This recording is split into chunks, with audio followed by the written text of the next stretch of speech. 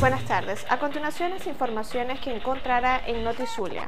Gobernación inició reasfaltado del sector Grano de Oro. A través del Instituto de Vialidad del Estado Zulia comenzaron este martes los trabajos de recuperación de la carretera, obra que según el ingeniero Eurobadel beneficiará a más de 12.000 usuarios diariamente.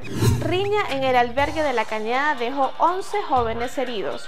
Extraoficialmente se conoció que el conato de violencia se generó por el cambio de directivos en dicho centro correccional en horas de la noche de ayer.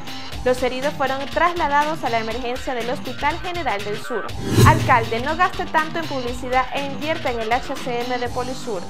Concejales del municipio de San Francisco le exigieron al alcalde Omar Prieto para que haga una mejor inversión a los efectivos de seguridad de la entidad sureña. El partido amistoso entre Inglaterra y Holanda que tenía que disputarse mañana por la noche en el estadio de Wembley en el noroeste de Londres fue anulado a causa de los disturbios que está viviendo la capital británica, anunció este martes la Federación Inglesa.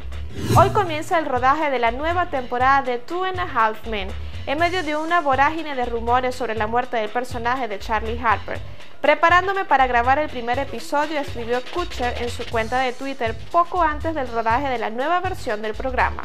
Esto ha sido todo hasta los momentos. Los invito a ingresar a www.notisulia.net y a seguirnos a través de nuestras redes sociales, donde encontrará información con veracidad en formato digital.